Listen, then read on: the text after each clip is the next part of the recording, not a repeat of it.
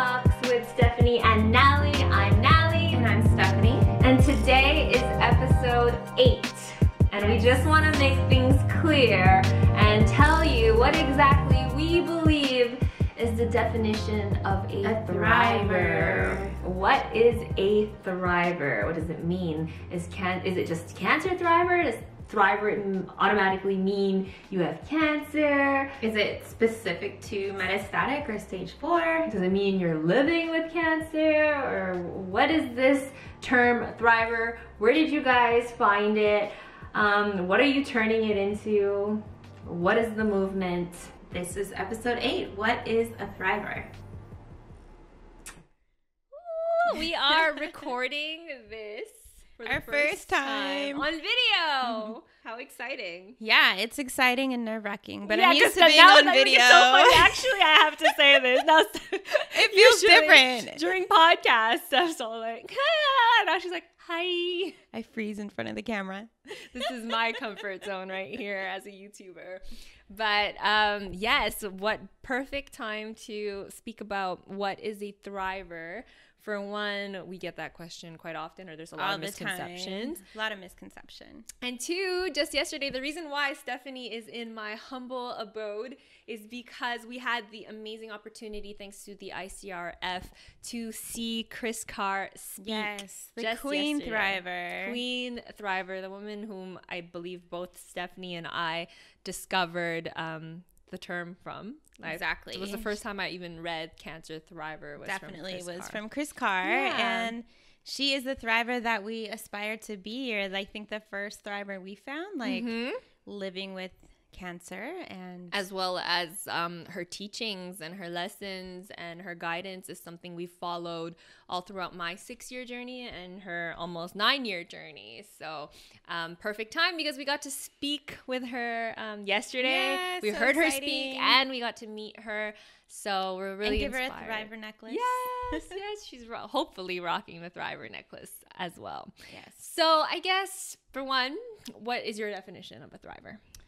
So I think a lot of people, especially like in the cancer community, misconstrue the word thriver. It's not like we coined the word or made the definition, but to me, like my personal interpretation of thriver is anyone living beyond any adversity. Yes. Um, I think in this lifetime, we all have a cross to bear or an adversity. Ours is cancer, obviously, um, but you can thrive through and beyond any obstacle or circumstance in your life. You know, I know so many people who are going through hard times, and it's not just cancer that they're facing. And I know you like to say, Nalie, all the time that hard is hard. Yeah. And, you know, some people are going through an addiction or an abusive relationship or they lost a child or, you know, so many tragic things happen to us. And I think being able to step outside of what you've been through, not that you're ever going to forget what you've been through and it's kind of always with you, just like, you know, diagnosis is always like right here,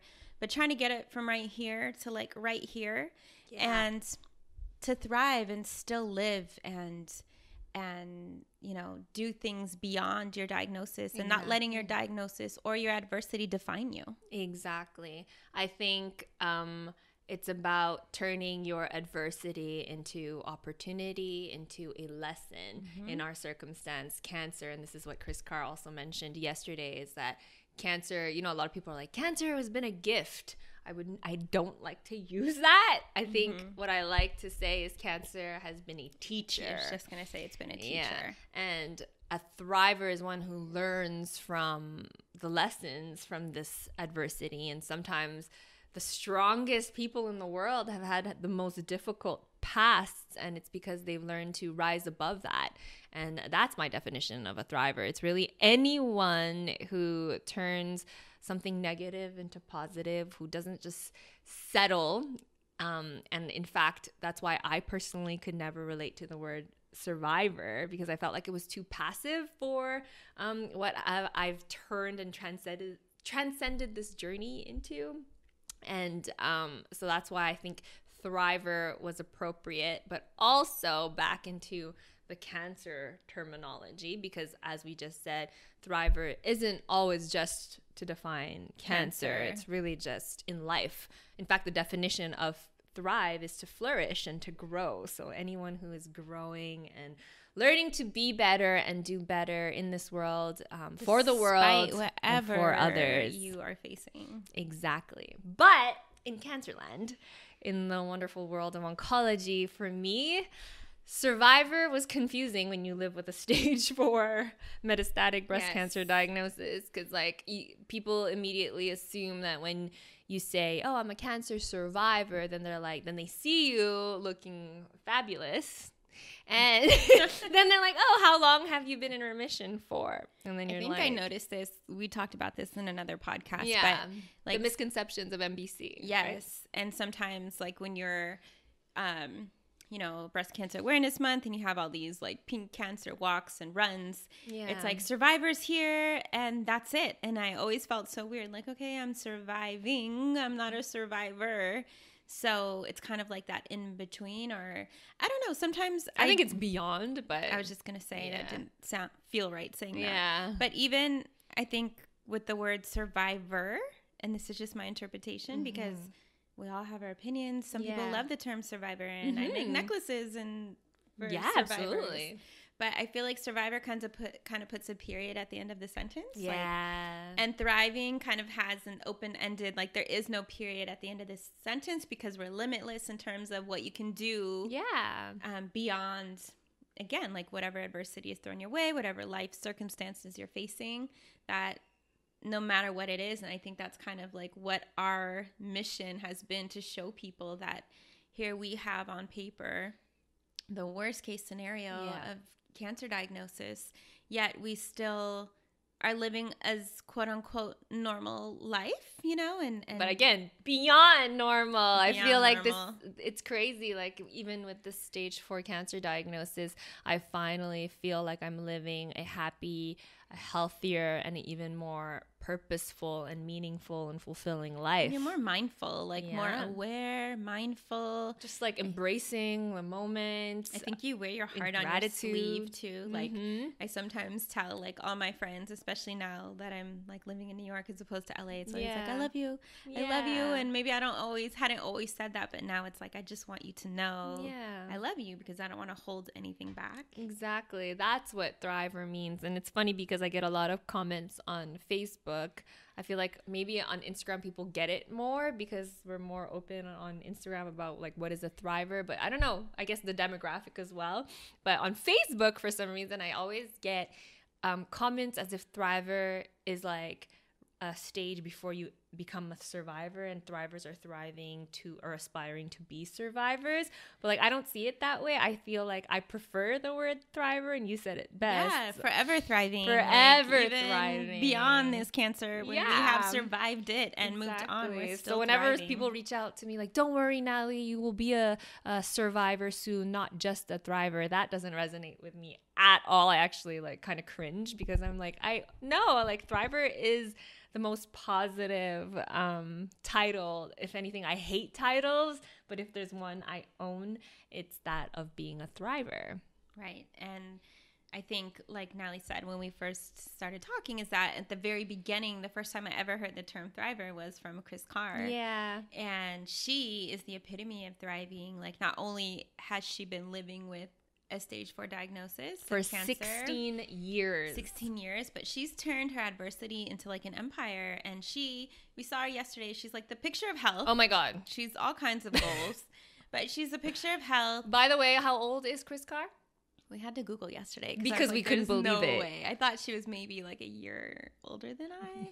She's yeah, she's 48, years old and, and Wow, she- Kris. Yeah, and that's young, but she looks younger than 48 She's just vibrant. Like She just looks like the- health and Yeah. peace. Like, and just like light. Yeah. She has she she radiates light. Mhm. and she's built her an empire Yeah. like and it's all about health and wellness and how to thrive beyond circumstances exactly.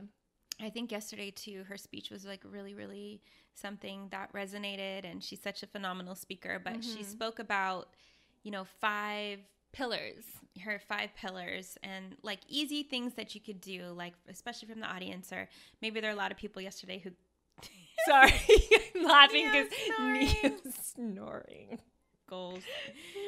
So, um, but it's part of the five pillars of health. sleep.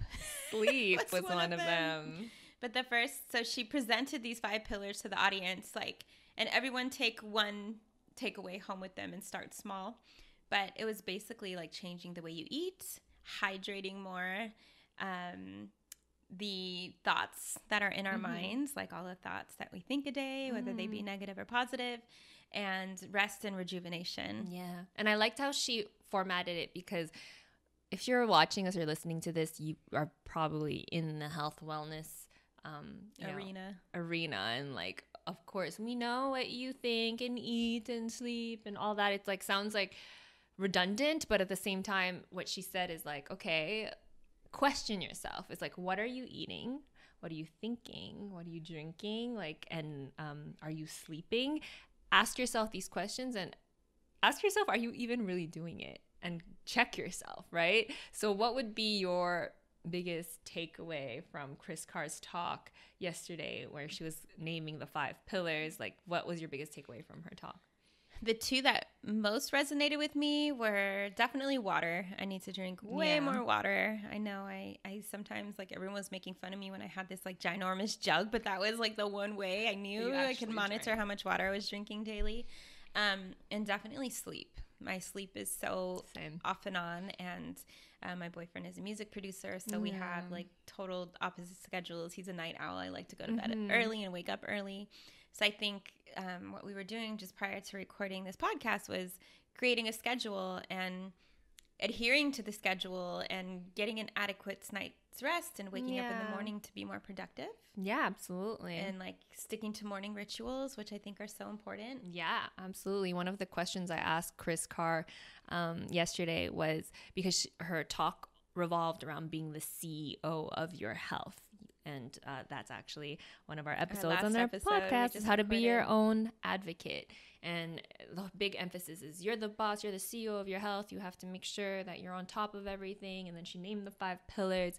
But then, if you know anything about Kris Carr, she's a New York Times bestselling author, international speaker. She, it's Been on incredible. Oprah. She's been on like Oprah. Top 100 she people. like launches newsletters weekly with, and it's like a new project or workshop or guided meditation or a journal, and it's like okay, hand up in the air, Kris Carr. As um, the CEO of your health, but as, as well as the CEO of KrisCarr.com, how do you balance, you know, um, your healthy lifestyle as well as your pursuing your career? Like, how do you balance thriving your health thriving as well as your business thriving. And she was super honest and said that she did have a hard time with that. Yeah. However, in a nutshell, her answer in a nutshell was that she prioritizes filling her cup first, taking care of herself, um, making sure she's the first thing in the morning is making sure she takes care of herself first.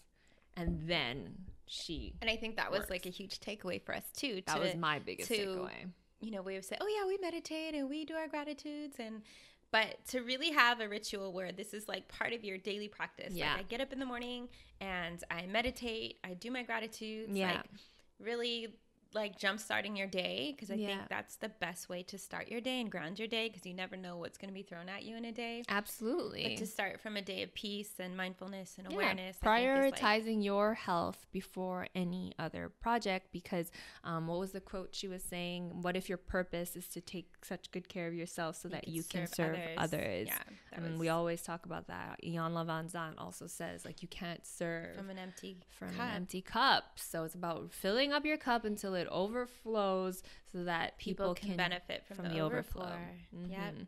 And that's what thriving is Yes. because a lot of people then see Steph and I and as busy as we seem actually are, as busy as we are traveling the world, Steph hopping on a flight coming from New York to Montreal. I'm going to San Francisco, going to speak Tomorrow. at tomorrow, speaking at Instagram, speaking at Facebook, writing our book. Um, everyone's like, okay, but like, is that what thriving means? Because then I'm not a thriver because, you know, I'm recovering and I'm healing and I don't feel well. So I guess I'm not a thriver. That's false. totally false and to be quite honest with you, being a thriver is acknowledging all of your needs. Absolutely. Whether and I think something that we both can admit that we struggle with Mm-hmm. is slowing down. Mhm. And that is part of thriving, honoring what your body needs and rest is so important and like we just said, renourishing yourself. And I think that's a department that we both struggle in. Mm-hmm. Um, we're both doers and we have an idea. Let's just make it happen. Exactly. And sometimes, you know, learning how to say no, learning how to prioritize things and resting. Like I sometimes I'm like, this is so silly to admit, but sometimes I'll like go to sleep and be like, I wish it was the morning so I can get up and go. You know? Me, it's like if I'm sleeping, I'm like, okay, let me make my to do list so that I can save time now and let me figure out and plan my day tomorrow. And then, And then you Instead feel like- so productive when you check it off. I've always been that way. Everyone made fun of me actually for that. Yeah, yeah. But thrivers, like, they're aware, fully aware of what their body needs, of what their Yes. mind needs, what their spirit needs, and um, they know um, as much as they're they're not scared of saying yes and taking risks and chances. They're also they also know how to say no and that's my biggest Huge. challenge like i always like i'm such a like yes yes to everything Let's like do it all. um, Natalie, I need your help. Perfect. I'm there for you. Um, like, it's like I have a hard time saying no, but again, like if I'm exhausting myself, there's absolutely no point of doing what we're doing, right? Absolutely. And I think too, someone who really like Amanda, who's my business partner for Thrive Gang, um, I always say she's a thriver, you know? Oh, It's like- yeah. and she's obviously the only only way she's really been affected by breast cancer so closely is through myself and she's been on the journey with me but this woman's like juggling uh, being a mother to two baby girls and an Mhm. entrepreneur and running her own stuff so we're always like girl like she's thriving you know and all to say that a thriver isn't just limited to cancer No. or any stage cancer. I think that's really what like um people think in the cancer community thriver is someone living with disease or someone with stage four. No, no, And no. It's anyone no. living beyond their diagnosis, beyond their illness, Hardship. beyond their hardship, and um, yeah, like seeking to have their absolute best life so that they can help others live their happiest, healthiest life. I think it's also someone who who serves, right? Who- Absolutely. Who, helps others. On that note, we're wearing our Savage X Thriver Well, Savage X Fenty. Savage X Fenty hoodie jumpsuit onesie for those at home. They're like really comfortable. If you can't see us, um, this video will So be on comfy. YouTube. But um, yeah, this is also an example of pretty much how Steph and I look like when we're recording podcasts. Podcast, we probably have our tea. We're in our pajamas. She's in Dog New York. I'm in Montreal. I have yeah. Neo now. Normally I have my own yeah, dog. Lucky is usually on her lap. I have Neo. And this is how we want to record our podcast. Really raw, real talk. like come into our home and sit down and have a Yeah. conversation with us. Also, too, I wanted to say that like this past October, being able to bring Savage X Thrivers like in big bold lights, kind of to highlight the word Thriver, was really really cool. Because Yeah. it was like for the first time in such a massive breast cancer awareness campaign, it wasn't Mhm. like survivors or something that you know we can't totally relate to. You know, yeah, Or- absolutely. so I think it was really cool to kind of get that word. But even Savage X Fenty on its own, and if you watch the Savage X Fenty fashion show on Amazon Prime, like those are thrivers. It's like women who don't look exactly what a Society tells you exactly you to should be a look like. runway model, and here they are missing a leg, overweight, uh, albino, um, women of all shapes, colors, sizes, beauty and like every way possible. Yeah, but owning who they are, I think that's a big one. Thrivers own their story. They're not afraid to just be their true, authentic selves. yep. Amen. I think that's So, if you know anybody who wants to hear this message or needs to hear this message, um, is confused about what it means to thrive or what a thriver is, please share this episode with them. Subscribe to our mailing list at www.thethriversguide.com. Um, Nalie and I are currently writing the Thrivers Guide, which is our book, and we'll send you updates on the latest and greatest and um, information about our podcast. Mm-hmm. And don't make- forget to subscribe and rate Yes. us and leave us a review. That Yes. really helps on um, Apple and iTunes. On I believe, can you leave reviews anywhere else? Not No. sure. I, I But wherever you can leave us a review, leave us a review. Wherever you can subscribe, subscribe. Um, we'd love to get this um, message out there, and it's only thanks see you in the next episode. and don't forget, where there's a thriver's will, there's a thriver's way. Bye. Bye.